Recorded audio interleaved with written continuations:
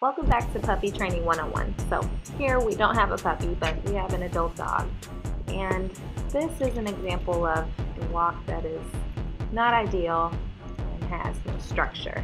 It's very important to make sure that good habits are instilled at a young age or else you're the one on the other side of the leash being pulled.